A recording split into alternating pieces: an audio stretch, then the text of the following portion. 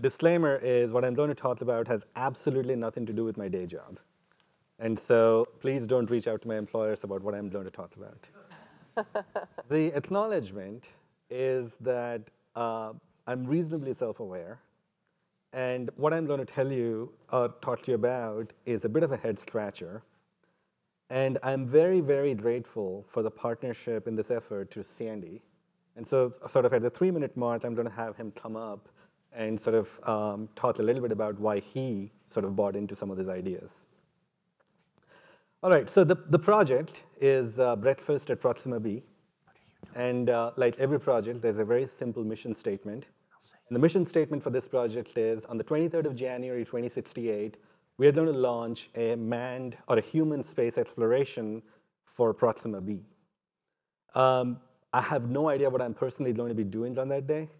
Um, I'm unlikely to be alive, or even if I'm alive, I'm unlikely to be particularly useful.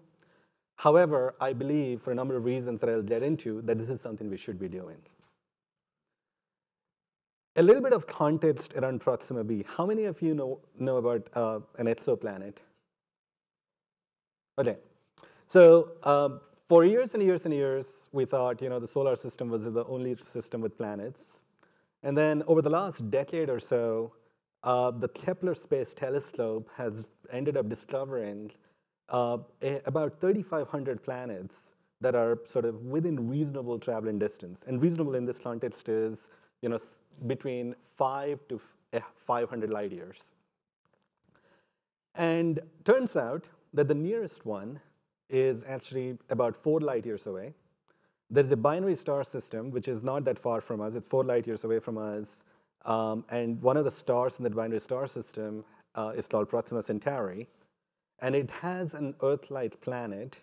And if you're familiar with sort of the nomenclature, the star is always called the letter A, and the planet sort of it starts with sort of letters after that. And so Proxima b turns out to be the planet, the Earth-like planet, that is circling Proxima Centauri, which is a star that's about four light years away. There are, there's a lot to like about it. Um, one of the things is that it's Earth-like, so it has an Earth-like mass and Earth-like gravity. Uh, it also is likely to have water in liquid state, which as most people know, uh, it's, it's what you need for life. Uh, one of the things that I really like is that Proxima Centauri, the star itself, it's a red dwarf, so it has a life of 4 trillion years. And to put that in perspective, the sun is about halfway through its life, which is about, we're about 5 billion years old. So the sun has about 4.5 billion years before it turns into a red giant, at which point the surface of the sun will be close to where the Earth is today which obviously means there won't be life left.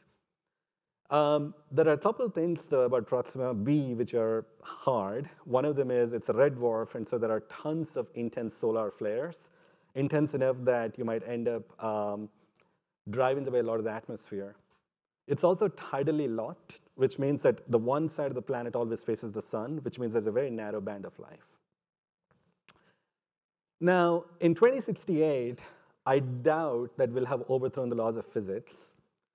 And it turned, I think in the next, so my, my starting point of all of this was, oh my gosh, I mean, how do you solve the propulsion problem? And it turns out there isn't a whole lot you can do there. And uh, in the next 30 years, we're going to figure out how to send about a few kilos, like 20 kilos of mass at about 10% the speed of light. So based on people that I've talked to, that seems a very likely outcome. Um, what that really means is that it's a 40-year one-way trip. What that also means is that you're not going to be able to send adults.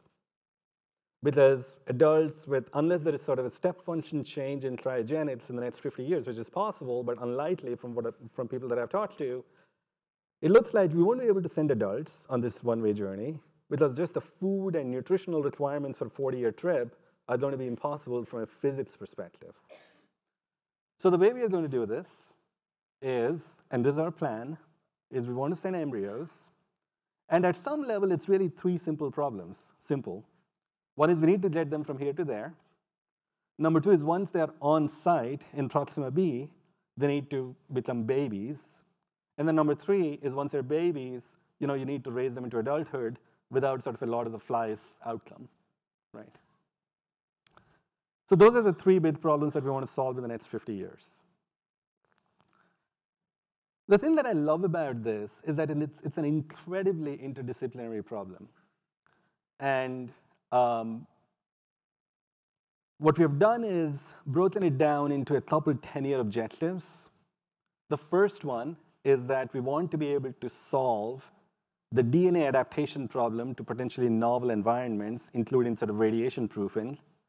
The second thing that we want to do in the next 10 years is to automate a kindergarten teacher. For those of you who have kids, kindergarten teachers are amazing.